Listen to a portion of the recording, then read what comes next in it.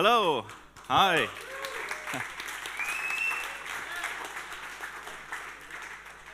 Thank you, friends of conversion. I'm so proud that so many of you are still here. I mean, the sun is shining, there's beer, there's a beach, so that makes me really proud. Thank you very much. I have a bad news at the beginning. You know, Peep and I, we were talking about my topic. That was uh, like one year ago. and uh, two days ago, I found out that he has chosen this topic, but I don't have slides for that topic. I'm sorry. So, who, who wants to hear the five neuromarketing hacks? Please raise your hand. Oh, damn it. But I have cool effects. Look at that. Uh, I really, I really like that. You know it. Ooh, city is burning. Ah. You know what? Tomorrow, Prit, he will talk a lot about cognitive biases and neuromarketing stuff. So to be honest, I don't want to take this thing from his speech. It, it will be doubled, so it does not make any sense. So I thought maybe it's better. So bad news for all of you who wanted to hear this. You will hear it tomorrow from Preet. I thought it might be good after such a day with all that information to like sum up, wrap up everything we've learned today from all these great speakers. So that's kind of my talk now. Uh, so you will see I will refer to all the speeches that you saw now already. And bonus for all of you who raised the hat, I've integrated the five neuro hacks, okay? So, uh, so this is me, um, not John on the left there. Uh, today in the morning we made an A-B test. Who has the dumbest face on a photograph? So KPI was look dumb. Uh, what do you think who won? Uh, John? Thank you. Thank you. That's so nice from you. I appreciate that. So, um, yeah, for those of you who don't know me, I'm um, Andre. I've, I've, I've, written a book about conversion optimization. In Germany, we say Conversion Optimierung. Okay? Who speaks German? Wow, I can do that in German.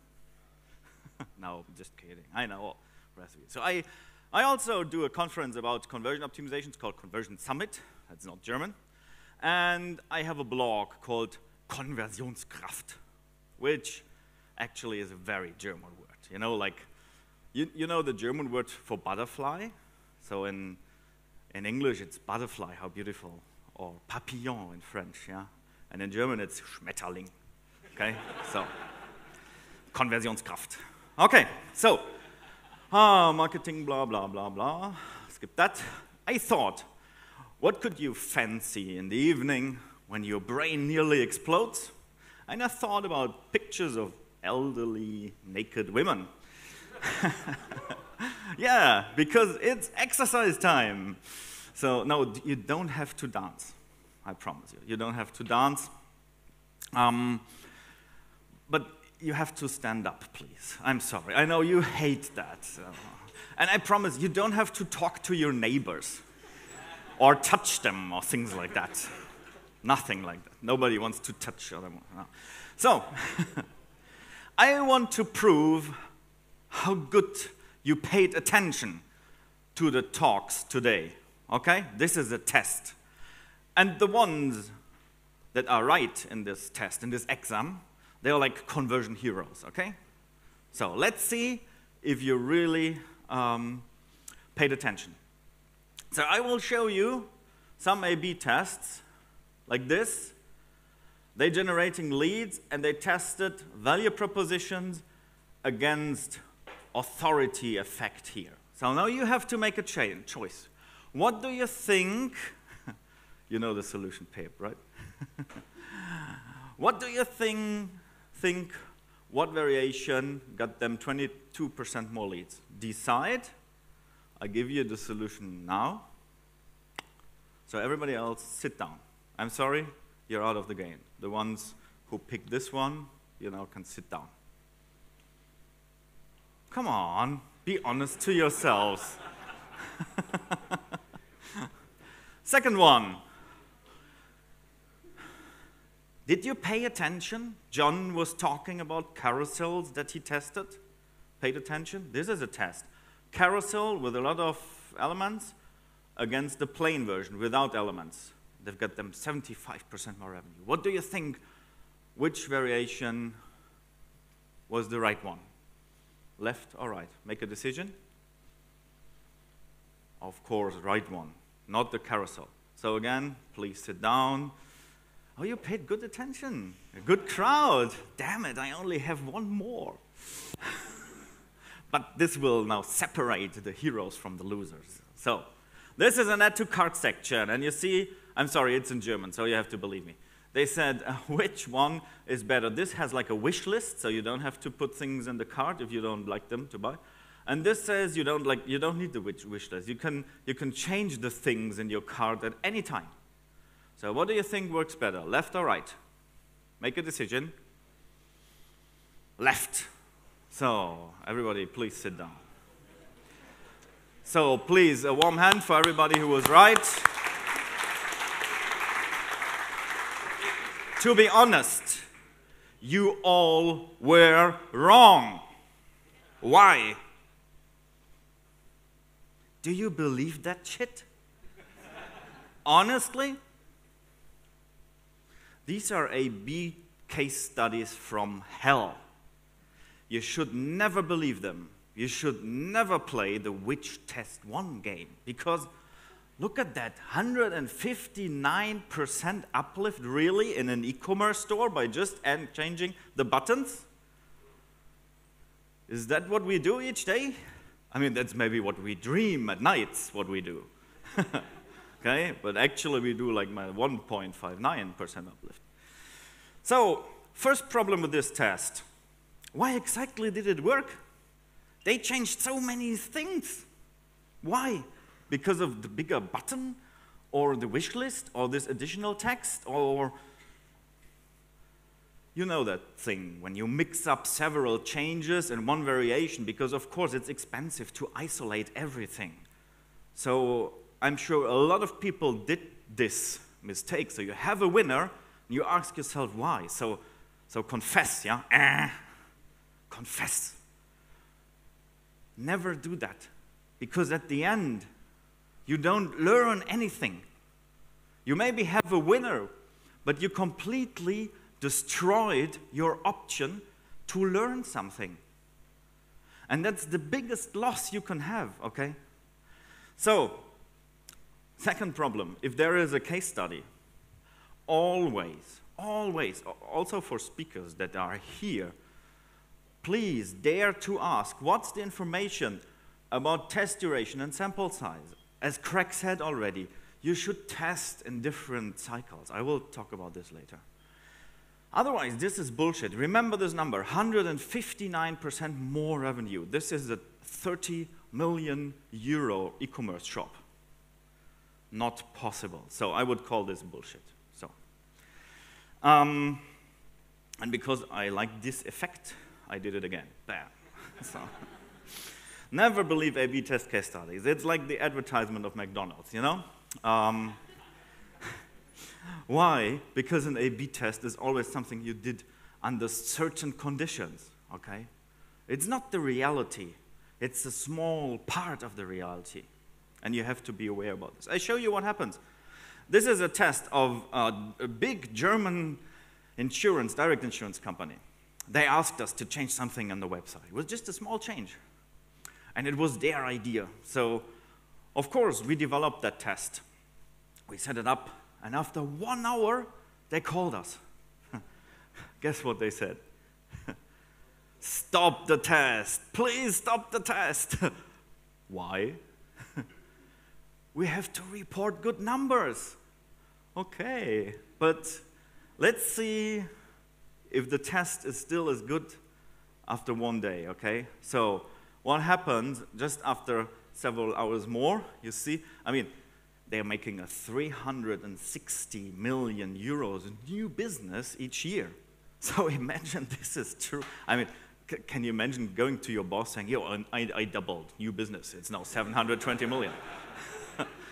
Believe me. no, of course not. So uh, after one day, it, it was still like 34 million euros. That's still damn good. So they really pushed us to stop that test. But we did not. We said, no, you can't do it. You can't do it. That, that's not true. It's just one day. You know, people behave differently on uh, weekdays or weekends if the sun is shining. And, and look at that uh, sample size, you know, 113 versus 121. So uh, Visual Website Optimizer says it's a 75% chance to be the original. So still not enough data. So we have to keep it longer. After two days, 10%. So as a good optimizer, you think, yeah, we did it. I mean, it's still at 10%, so it's, it's grooving in, yeah? We will keep that number. But then we had a bad day. Look at that. Only 3%. That's only like 10 million euros. only 20 Ferrari La Enzo or whatever. Compared with 700 million, oh, that's pure. So the good thing, test recovered. After seven days, it's 8%. Tool says high chance to be the original. So statistically, it's good now. So we could stop it, right? No, no, no. I have to work on the, on the drama of my presentation, I think. yeah, of course not. After two weeks, it's that. After four weeks, it's crap. So you see, this was crap from the beginning, to be honest. It could not work. When you see the variations, you would have to uh, say that, of course, it can't work because you don't see the change. And how can something that you can't see affect the behavior of people? It can't. So the 0% is truth, and I would say this is a, this is a basic problem of conversion optimization. We all like underpants gnomes, okay? You, you know the underpants gnomes? Who knows it? That's good, good number, underpants gnome. For all the others, underpants gnomes, they, they have a, an evil plan. You know, it's collecting underpants. They're stealing them in the night. Nobody sees them. That's phase one. Phase two, oh, and phase three is make profit out of it. So A-B testing is something similar. It's let's do A-B tests, 26% uplift, this must be a profit. it's not true. There's something in between test results and having the money at your bank account. There's something in between. And my, this is just my guess. This is not a survey. My guess is that 70% of optimizers don't know that there's something in between. 20% have no answer, and maybe 10% all of you know that there's something in between and know the solution. So I want to talk about this. And remember this, this is how your testing tool reports your data. It says the amount of conversions, chance to beat original, uplift. And first thing you see, these are really small numbers. Tool already says it's significant. But look at this. This is a statistical calculation we made in Excel. It's based on a 95% confidence level. How much conversions per variation do you need to prove a certain uplift? So, depending on a high contrast or a low contrast, you need more or less conversions. So, if you want to prove um, like a 20% uplift. I'm sorry, I can't read it really well. It's like here. Uh, maybe 400 or 500 conversions per variation are okay. And that will work in lead um, or email opt-in conversion goals, lead generation or email opt-in. You get numbers like this. But in e-commerce, who's in e-commerce? Who sells stuff? Primary KPI is sales, order. It's much harder because if people really have to buy something, they come and go and decide, and people are complicated, nasty customers. Uh, you will have uplifts maybe between 3, 4, 5, 6%. So you're here like with, with 16, 17,000 conversions per variation to prove that the 2 point something percent uplift is right. I know this is a lot of numbers, and the, it's even worse because if you apply this to segments, I know you can segment you to death until you find an uplift. Look at the segments until you find an uplift. But you have the same problem. You have the same problem. And this phenomenon also applies to your segments. The only problem is that there's maybe no testing tool that calculates your CTBO or your significance. and then you are fucked, honestly, because you report something that's not true. So, I feel the energy. yeah, this is the sad part of the story. It's, but it's a mathematical law, and you can't work against these laws. You just cannot do it. I cannot tell people with few conversions that they can do the same amount of A-B tests as a big retailer with 100,000 conversions a month. It's just not possible. It's like you want to build a plane and you ignore gra gravity, okay? It won't work. So I think it's better to tell you there are options. I developed this model. It says you have a choice what amount of validity you want to have. You can go for just 80% instead of 95% confidence. Or you can choose to use other numbers. Or you can stop trying to prove that an uplift is right. You can just say the variation is better. I don't know how much, but it's better. Problem is, testing tools always report the average uplift. So that, that's the problematic thing. You have a choice, and you have to realize you have a cost of decision. So if you want to prove that something has exactly 26.23% uplift, you need a much bigger sample size than, in, than compared to the situation where you say it's just okay to prove that variation B is better. I don't care how much. It's just plain better. That's maybe here, very low cost. But then stop telling everybody what the uplift was. Because it's wrong. It's a lie. Stop it.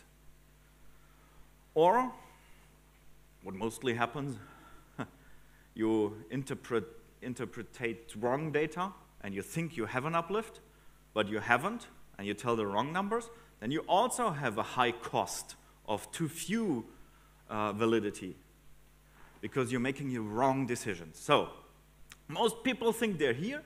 They just see the numbers in the testing tool, 26, 26%. And they're happy. They think they are here, but eh, they're not here. Honestly, you're there. And why do we want to think that? And that's my first neurohack. it's called confirmation bias. Of course, we worked for weeks on that concept. We wanted to prove that it's right. We believe so hard that our optimization is a real optimization that we just wait for a tool to prove it. So confirmation bias means we select our information and data according to our opinion. Of course it is our opinion that our variation is better. One of the biggest mistakes of every optimizer. So Believe it or not, but significance is not validity. This is really important to know. Significance just means, from a statistical point of view, two samples compared. Is it a random effect? Is it an artifact? Or is there a real difference? So, what are the options? Maybe you don't have 17,000 conversions. Anybody here who has like 10 or 20,000 conversions each month as a primary goal? That's good. Cool. You're out of that. but for everybody else, what are your options when you see that diagram? You know it? Change the business, go for lead generation, then you're here. Uh, lower your, uh, your, lower your regulations, like what amount of validity do I really want? So have a lower amount. Or have more contrast. Don't go for 3 or 4%. Make optimizations that get you in this area. Because things that are here, you won't be able to, to say if it's right or wrong. So my idea, if you want high contrast, what is an uplift? What is an uplift? To be honest, it's a number. But what is cause and what is effect? I showed this last year. Who was here last year, saw my presentation? Cool.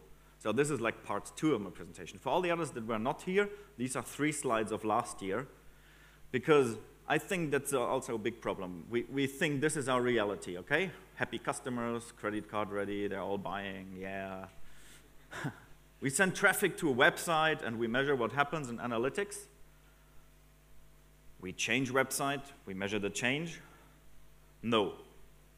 Truth is that people perceive a website, think, should I move my hand, should I click, and the click we measure. So if we run an A B test, what do we measure? The conversion rate? No. The uplift is the amount of behavior change that we've made because we changed the website. Different website, people start to think differently, people start to behave differently, and that is what we can measure. So, if we want a high uplift, we have to realize that we have to change people's decision. And the second slide from last year that I want to, to show is this Facebook test. You remember it, the other guys? There you can see the difference between template optimization. Most optimizers optimize templates. You know, what, what could I to do on this template to improve the website? I could, I could move the button here, hide the button, but maybe dynamically. So if you go on the left, it switches to the right, or whatever. of course, you could do that. You could change the template. But it won't have an effect. And what Facebook did is they worked on the motivation of people. They said, if you quit Facebook, your friends will no longer be able to follow you. That. Tim will miss you. and your 297 friends also. David will miss you. Julia, not Julia, no. So, this changes behavior, okay? This changes the motivation of people. So, this is powerful. And to recap that, in how many presentations did you see the BJ Fogg behavioral model? Two. Two. And it's good. The model is right, but it's academic. It, how can you use the BJ Fogg model? What, what, do you do with it? Calculating B equals mat? What is hmm, mat. Don't know. Other way around. I call it the ROI pyramid. Ability means in a real store, I am able to open the door and enter the store. Does not equal I like to buy. So this is the next level. I want to buy something. And there's even a third level that BJ, is that his first name? Hello, BJ. Maybe. Um, I don't know. I really don't know. Is it the first name? People don't, don't name BJ. Benjamin, whatever. So he forgot this level in, in his model. And it says, I have to buy. You know, you know when people have to buy something? Drugs. I need a cigarette. beer. Who needs a beer? yeah. so it's that level. Or Apple products, you know? Drug dealers, Apple products, it's the same. New iPhone 6, I have to buy it. So there is a secret force called brand that pushes me so Apple does not have to work on the usability. They could hide the button. People would start searching for it, okay? So this is the difference of the several levels that BJ Fogg has in his formula. So a potential for optimization, 90% is here, only 10% is there. So if you want to go for big uplifts, don't tweak templates. Don't think you have a problem with ability. You have a problem with motivation. So you have to ask yourself, how can I motivate my people? What people do I have on my website? How can I motivate them? This is the practical version of that. How can I motivate people that are on this shop? And by the way, what's this shop about? For what kind of people is that shop? People with beards, long hair, and wearing strange hats? How is it called? A hat? A hat? cap, a cap. what kind of, it's about fashion, okay, you agree? So what kind of fashion do they sell? You know it? Casual, yeah. And is it low quality, high quality? Low quality?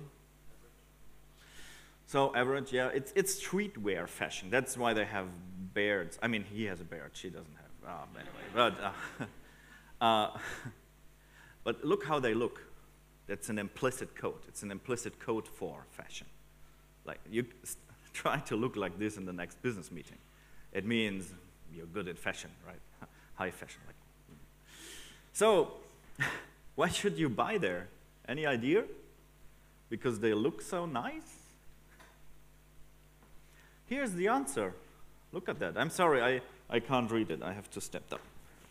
It says, for I, I have to translate it. It says, Welcome to Frontline Shop, a selection of style. Anybody has the feeling that he needs to buy there now? No? it says, Authenticity, quality, uniqueness, and innovations are values that we at Frontline Shop value a lot. That's why we invest in our uh, long-lasting experience as a street fashion online. Did I raise your motivation? Come on. of course not, because it's a bullshit blah, blah, blah marketing text. What's our value proposition? Let's write a grayish thing that nobody can read because we are embarrassed by ourselves. So, when I think about changing motivation, it's one easy question that you have to answer. Why should I buy here? Give me a reason. Why should I buy here? So, if you develop hypotheses based on that question, then you have to rate them. You have to prioritize them. How can I get a good uplift? First, I have to ask myself, if I change anything, will it be perceived by the people? If it's not perceived, they won't change their behavior. It's not in the brain, doesn't work. Second step, if I change this website, I have to ask myself, is it relevant for the people? The gray text there, is it relevant? No, it's blah, blah, blah. It doesn't have any value. So if I change the website, I have to be aware that this is an important question. So I think it's good to rate hypotheses from one to five stars, but you can improve it by giving away these stars by answering these questions. Or, third questions, that's good if it differentiates yourself from your competitors.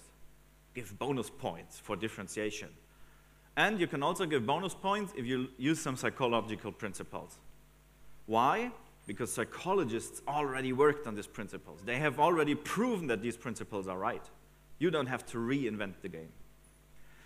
So what we did was a hard struggle because testing on the website is CI, don't change it, nah, nah, nah, nah, nah, things like that, discussions with the client. What we made is we tried to put the, the content from this banner inside a more visual elements. So we have a little more attention span for people to perceive it. And we need a little more place. So two principles. First, more space. Second, visually. And a little bit user experience, joy of use. So it's fun to use that thing. And third thing, we repeated it. It's not just on the homepage, it's everywhere. And that's also a, a psychological effect, a hack that you can use. It's called the mere exposure effect. Important things, you should repeat them. So if you test something on a landing, landing page, that's good. But it will maybe lose 80% or 90% of its power if you're not continuing with this thing on the whole user journey. For things like sale, imagine you have a homepage saying big sale. Where is the sale at the end of the customer journey? Where is it in the cart, on the product page? It's gone. That's stupid. So maintain the send, uh, repeat elements. We repeated it even on this product page.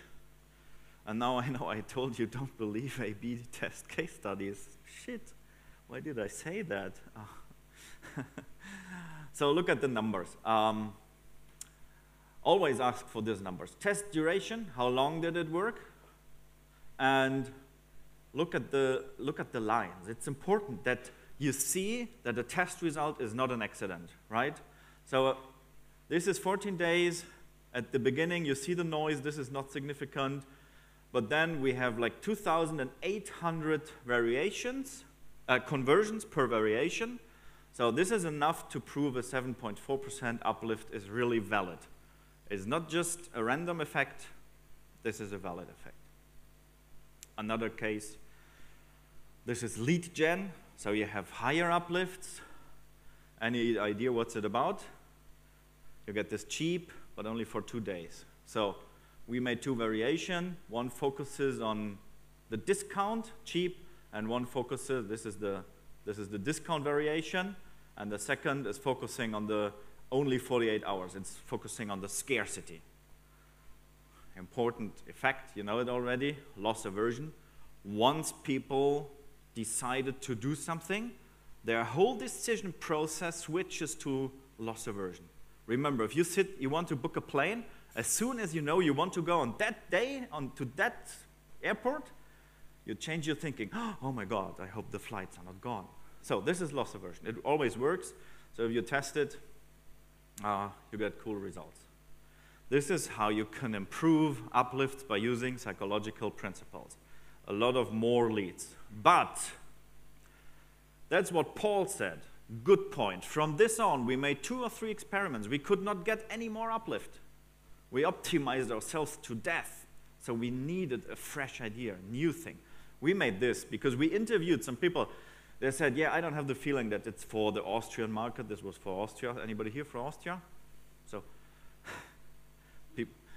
this was important for these people. It says, thank you, Austria. You made us number one, Austrian flag, things like this. That was emotional resonance. That's the, that's the principle we call. This is, this is uh, like fertilizer yeah, for for all the psychological principles you build on it because it's more relevant, I told you. Question number two is it relevant for me? And you see, this is much more relevant. Bam. This is, again, retest this variation, not that strong as first time, but again, 110% uplift. And as comparison, this was the old control. So that makes a big difference. When we are testing, we do nothing else than bending our growth curve. Okay? We had a success, so we were bending our growth curve. We just have to repeat that. This is why I said last year conversion optimization is a stupid name. It sounds like, oh, let's change some buttons. We do growth optimization, okay? We, we do this for fun, of course, but we want cool results. We want to influence something. So look at these two companies. Anybody knows HRS? It's a German company. You can book hotels. Kind of an old company. They exist since more than 40 years, and they've been very successful. They were dominating their market for like 37 years out of their 40 years. And then came this little company called Booking.com. And look what they did. And what's the difference? Ask yourself, as an optimizer, ask yourself, what's the difference between those companies? Both have a couple of hundred thousand hotels, nearly the same price. I can book them in three to five steps online. No different business model. They do online advertising till hell. No difference. Why do they dominate now the market? They overtook HRS internationally three years ago. They overtook it them even in Germany, which is a hard work, this year. Why? they have a team of optimizers. they don't. They're testing around a little bit, green button, blue button. and they're testing their website to make, them, to make it sell better. They realize the website is a sales person. So they use all these cognitive biases. That look, and this knowledge is free. It's completely free. Go to Wikipedia. List of cognitive biases. They're all here. Everything that is inside booking.com is listed here. Last year it was 139, this year is more than 200 principles. This is your job. Just, oh, just go to one position by random bandwagon effect. What can we do with the bandwagon effect? Who knows the bandwagon effect? Two, that's cool. Bandwagon effect. It's others say herding or people change their behavior to what the whole herd is doing. So look at that store. Nobody goes into an empty restaurant, right? Or an empty store. Empty stores like, ooh, like this. This looks better. People like to buy where are a lot of other people. It's a proof that I'm right here. Or even that, look at that. This is perfect because that combines now two principles herding, a lot of people, and look, uh, like four iPads, three iPhone 6, and 200 people. Look at his face. Look at his face. Damn. so, that's the principle. And Booking.com knows they're all talking about Cialdini scarcity. I can't hear it anymore. I'm so sorry. So, but look at this.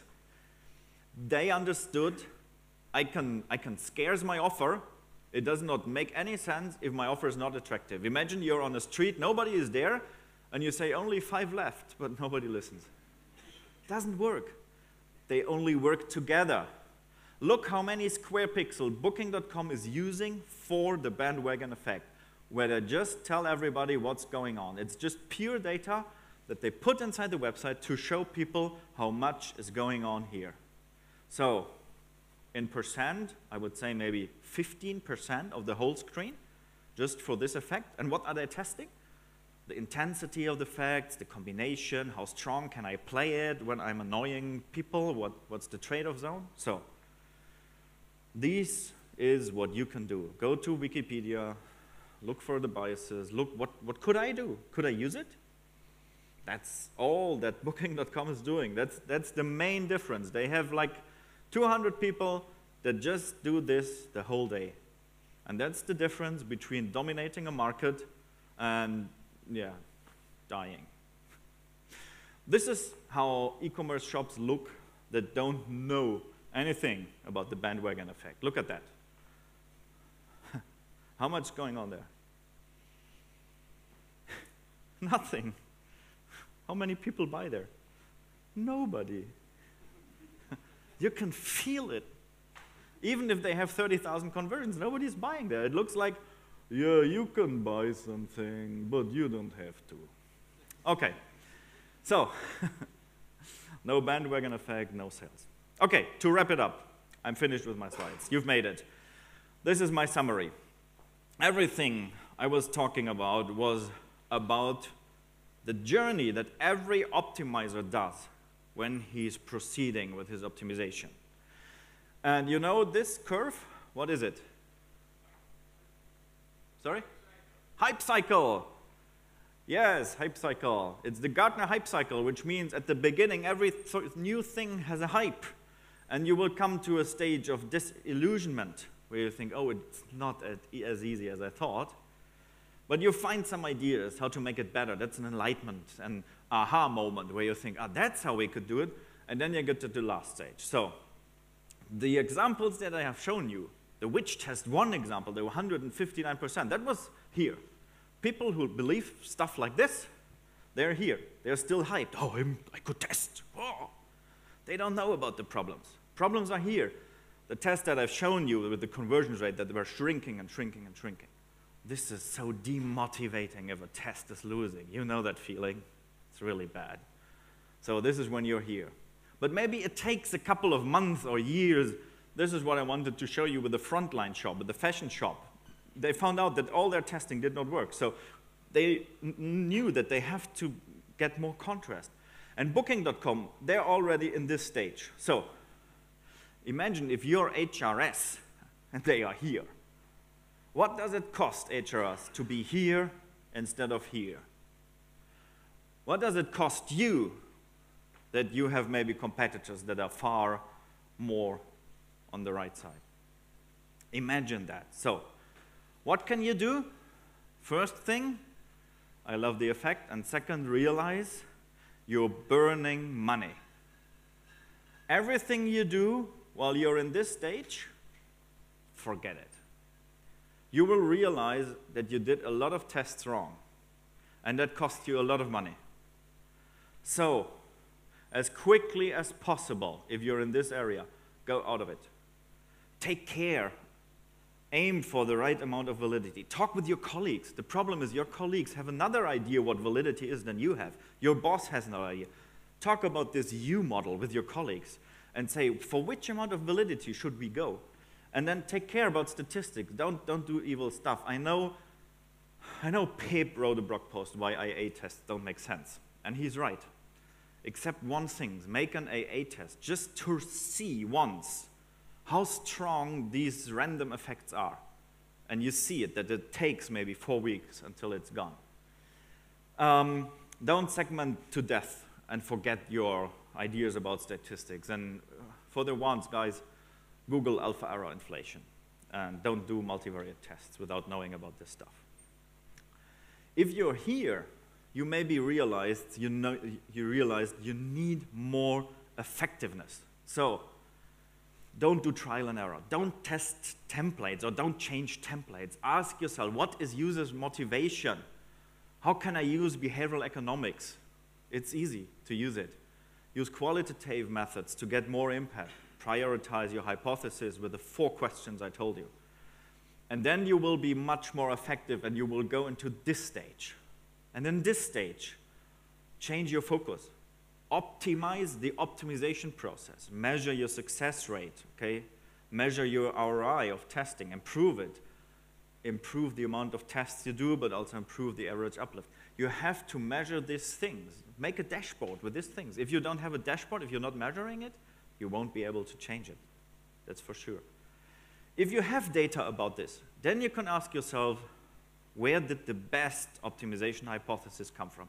And then you can optimize the optimization. And then you're at the very right side of this curve. That's it from me. Thank you very much.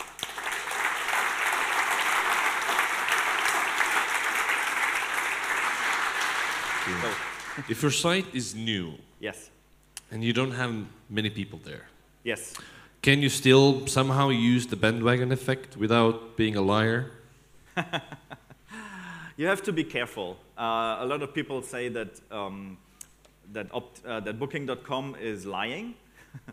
and that's not true. Booking.com is very aware that they have to use real data. So don't lie to people.